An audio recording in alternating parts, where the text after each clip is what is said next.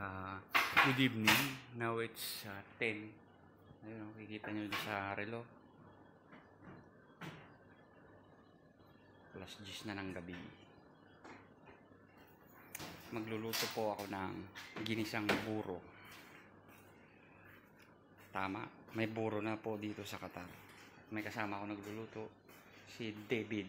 Yan po ay Kenya. Hi David. Yeah, that's my man. Yeah, shout out to my friend David. Magluluto kami ng ginisang buro. Yan, ito po yung buro. Ito yung binili ko na buro. Buro po siya na tilapia. Tapos haluan natin ng ayan, sibuyas, bawang, tsaka ito, ito, yan. So, wa, standby lang po kayo at uh, umpisan ko ng pagluluto. Ilalagay natin tong luya. Yan.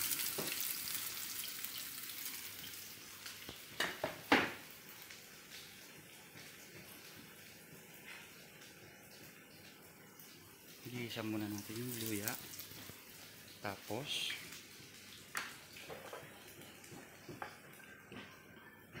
sunod na po natin itong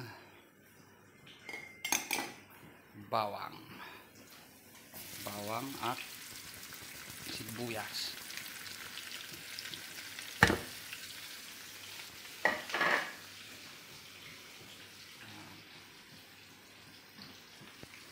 Halu-haluin, halu-haluin.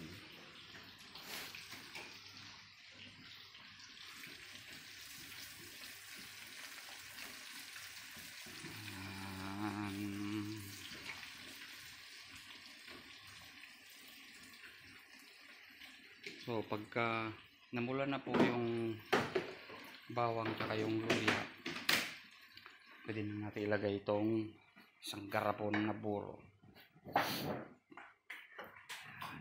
Buro po yan. Burong tilapia. Burong isda. Nakalagay dyan eh. Burong isda. Courtesy of Manolos Filipino Craving.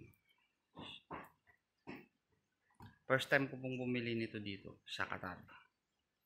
So, first time natin matitikman kung masarap ang kanilang buro. Yeah.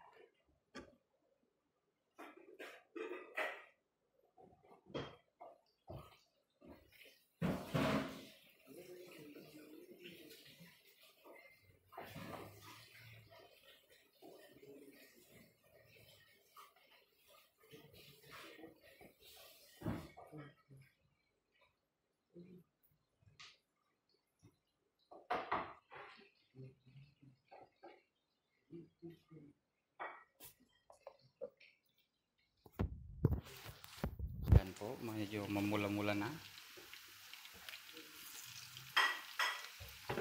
At kumukulo na rin po ang ating bulalong camel. Yes, mga kaibigan. Bulalong camel. For tomorrow. David, do you eat camel? This one camel. So tomorrow uh, you taste, ha?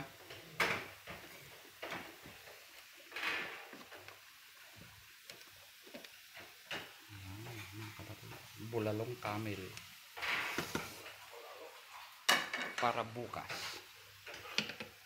Ganito po kasi ako pag nagde-day off ako eh.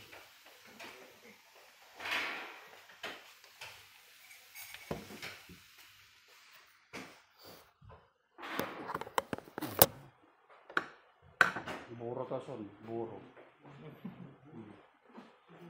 Buro isda. Yan yung ano ko lang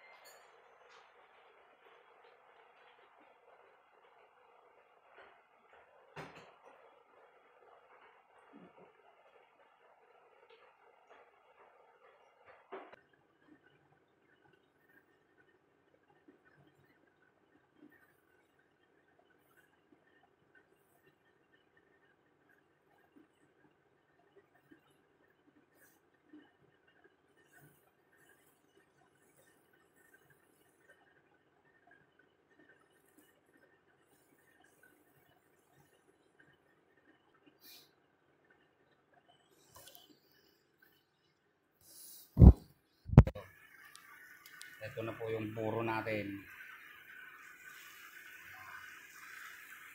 Malapit na siyang magluto.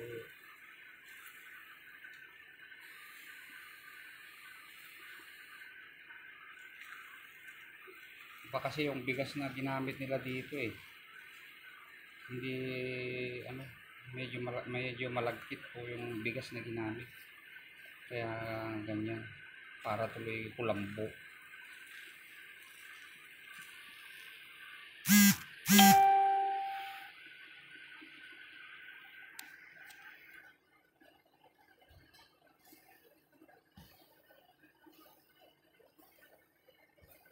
alam nyo naman,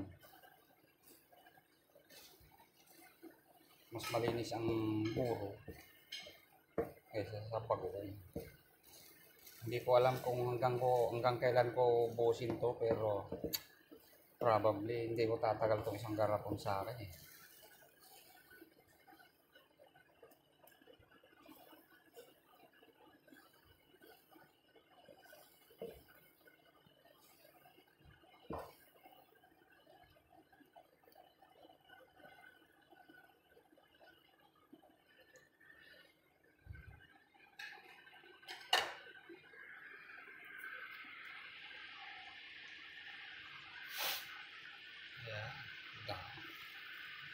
Tamang-tama to bukas.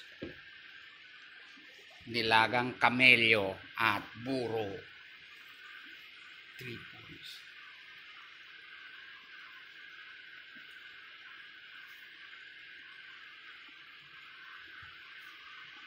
Tapos meron pa ako, meron pa akong ah, sinangag na biryani.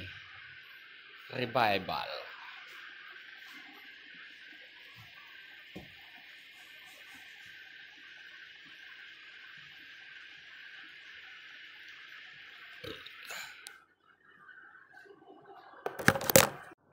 Tapos na akong magluto, tapos na akong kumain. Matutulog na ako guys. Wally Ramos signing off. Good night.